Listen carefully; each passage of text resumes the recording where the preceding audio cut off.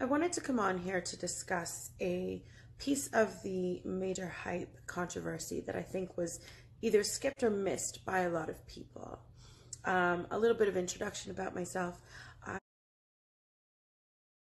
am a sexologist, I am a sex educator, I am a former sex worker, and the owner of an adult business. So, my perspective was really targeted towards the sexual abuse aspect of the alleged domestic violence situation. And I noticed in Kirby's second video specifically that she made mention of the expectation of sex happening after altercations and, and incidences of domestic violence. Consider for a moment it a sort of perverted version of makeup sex, and that expectation being placed on a victim and the pressure of non rejection, because rejection could lead to a further incident of violence. And so I think that little portion of her video kind of got glazed over in amongst all of the other dramatics and controversy. So, a bit of psychological sex education. Most people's sexual preferences, tendencies, perversions, kinks, likes, and dislikes are formed within approximately the first five years of life. Now, he spoke in his videos about an incident that happened when he was approximately six years old uh, with violence between his mother and his father. And given that exposure to a six year old child, I think it can cause an uncontrolled rush of emotions and an uncontrolled rush of adrenaline. Now, when your adrenaline is rushing, it can sometimes be misconstrued by the human body. Depending on how comfortable or how often you experience these, these rushes of adrenaline, it can be interpreted as an overall sensation. It can be interpreted too as an overwhelming arousal. All of your senses are heightened in that kind of fight or flight moment. Now, for a young child, kind of unable to properly digest those kinds of emotions, those rushes of feelings and sensations, um, it, it could be something that looking back later in, in, you know, days afterwards, seeing certain wounds could have reimagined or retriggered those kinds of sensations and caused a further arousal and, and rush of adrenaline and consciousness and permanency to those kinds of urges and tendencies. Now, we also can look at previous skits done in jest at domestic violence being a subject matter, the content and context of that subject matter, and how it relates to that childhood trauma that was discussed on his end, as well as the actual threat and execution of the cutting, which has a very similar correlation if you look at placement of the body, selection of parts of the body, etc., in a similar fight or flight context. So I think that literal recreation can be very telling into the psyche of a perpetrator. Now, most sexual crimes and most sexual criminals and perpetrators, the arousal phase comes in the throes of the crime and the act itself. Think about a rapist, uh, a sexual assault assailant, um, a pedophile, a necrophiliac, anything along those lines that that has the arousal portion as part of it. It's usually in the moment, in the act, in the crime, where is peak arousal. And quite often after that kind of a scenario, there is days, weeks, hours afterwards, months, sometimes even years of, of remorse, of guilt, of overcompensation. You can see that even through you know smaller incidences or lower scale incidences of, of domestic violence emotional abuse etc where there's an overcompensation you're you're showered with with flowers or compliments or gifts afterwards as, as a way of kind of making up for it in, in essence to win that person back which is equally a part of domestic violence and manipulation gaslighting and uh, mind control in many aspects. But to hear of someone having their arousal points after the fact so after after the violence we've all seen the photos. We've all seen the photos. And to to picture in your mind drawing that person back in through your guilt, through your cutting of your wrist along your hand, reminiscent of your, your childhood trauma. And to put the expectation of sex on your victim at that point, and to be aroused by that, to be excited. Now let's get graphic here. We're talking about excited to the point of arousal. We're talking about mounting his victim. We're talking about her face looking how we all know it did. And not just aroused, but to have full sex, to have full intercourse or whatever form or fashion of, of sex that it was. Sex implies also to completion.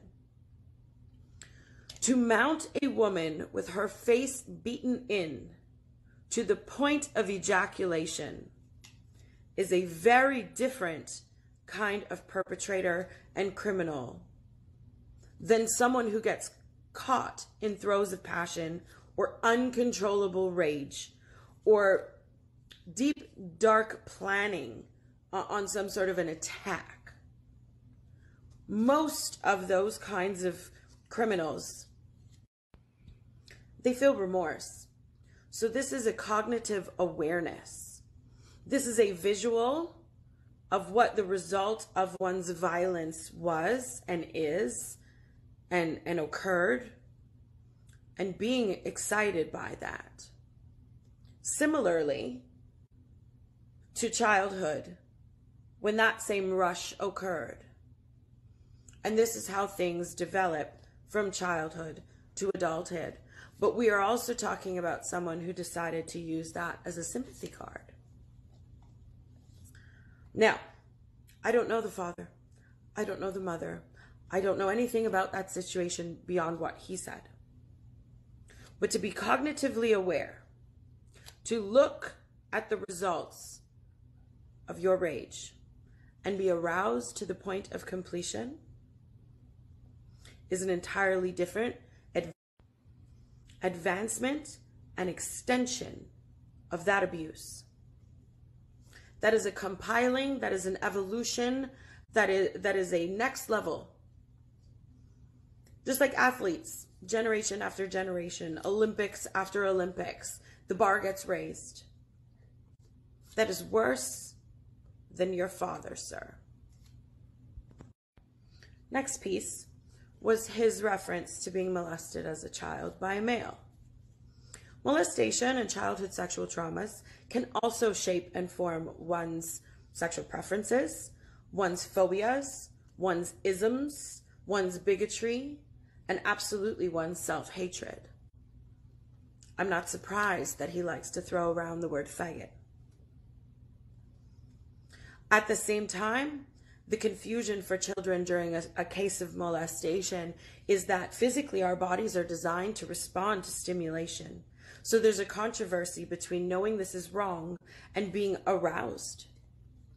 And that can create a self loathing in people that, unless they deal with and get therapy, could quite possibly take out on somebody else's face. So there are multiple layers and facets to domestic violence and abuse, most of which we have seen play out over the past week and a half since Kirby's braveness and courage to come forward. There's physical abuse, there's mental abuse, there's emotional abuse. There's social abuse, which we saw with the release of the sex tape and, the dragging in the comments from certain people, many people, and far too many women, as well as the silence of men. The silence of men around him, the silence of a community and an industry, and the silence to many of us who have been victims in the past is not deafening. It's screaming loud. Many of you, all of you, have mothers. Many of you have daughters and sisters and girlfriends and wives. And there was even a bunch of people in the comments mad at her to lawyer up, lawyer up, lawyer up. But the financial abuse was ignored as well. This woman lost her career. It takes money to lawyer up. A friend created a GoFundMe to support her efforts in standing up for herself against horrific crimes. And people decided to drag her in the comments. You know, when you financially dominate somebody, you take away their means. You can't lawyer up when your career is gone. You can't leave in a pandemic when you have no money and are dependent financially. Now, I'm highlighting here the sexual component because sexual abuse is very prevalent in domestic violence and abuse scenarios. And the facts of the matter is, it has been shown to us that he has taken all of these things away the mental, the emotional, the physical, the financial, the social, and the sexual. So, for that, her reputation deserves to be restored. And for those of you going on about three sides, you're right. In a court of law, there is a plaintiff, there is a defendant, and there are the facts. We have seen the facts. Those photos are fucking facts. His behavior choices are fucking facts.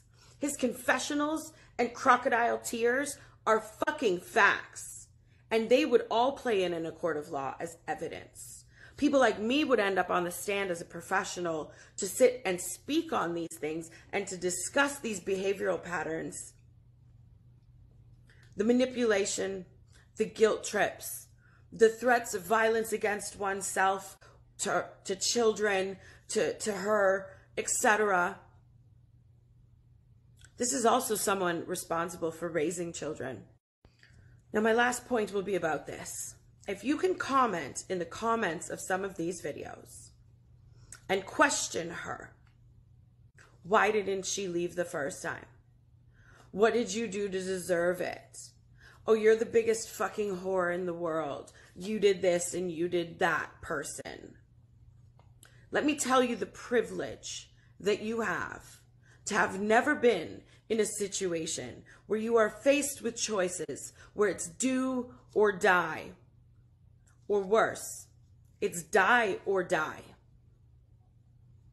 You are privileged to have never had that fear. And I use the word privilege specifically because we all know what happens when people overexpose their privilege.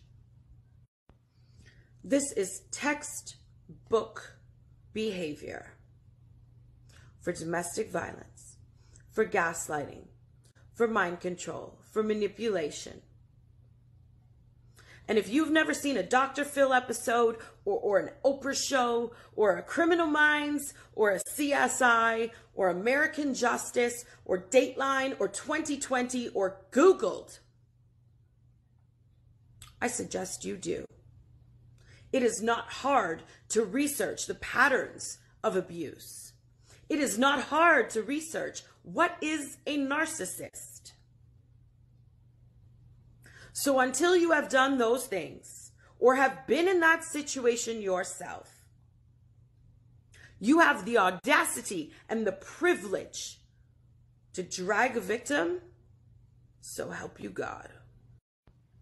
So I will repeat my main point.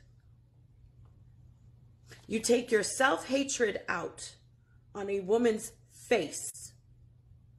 She returns from hospital bloodied and bruised.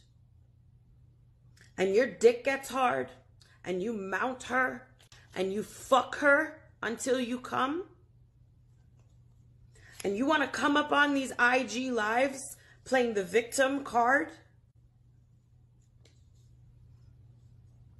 This is why you're being canceled.